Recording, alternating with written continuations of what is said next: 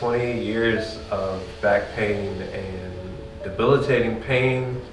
Uh, jogging in shoreline was one of my favorite things to do. I did 84 miles a week for the last 15 years, and it last 14 of them were very, very painful ones. I, my L1, L2, L3, and L4 were compacted together. So whenever I'd run, they'd squeeze together, they, you know, completely, you know, compress, and I ba- it basically feel like somebody was hitting me in the back with a hammer. Uh, there's a lot of passion, and uh, when I listen to my music and when I tune out, it's like I've got my purpose here, I've got my purpose here, and I've got a passion here too, and then I've got the people watching, so it's it's like an orb, you know what I mean? It's it's it's it's a circle. It's a constant circle. So when I'm in my zone, if you know you happen to see me and I look like you know, I'm angry or something like that,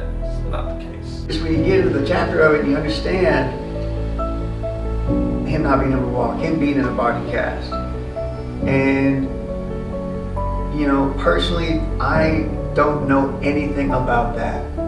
As an athlete growing up, you know, injuries were always the hardest time of my life because it was the most humbling. It was the most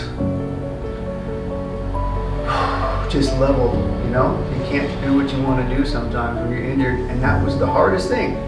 And here's Lamont, who's had a lifetime of that. And I, I don't know what that's like. I don't, Lamont, I can't. But I can do everything I can to help you through. That's it.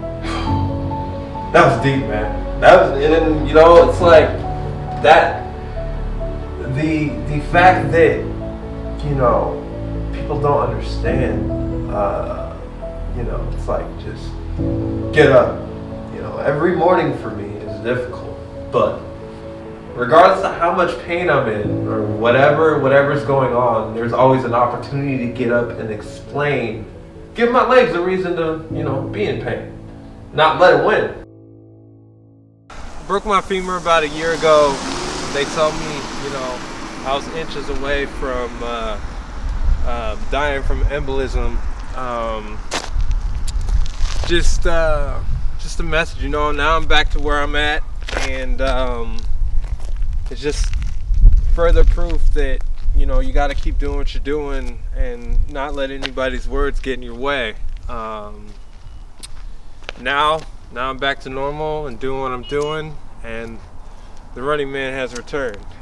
So keep striving for greatness, never give up on yourself, dreams are attainable if you believe.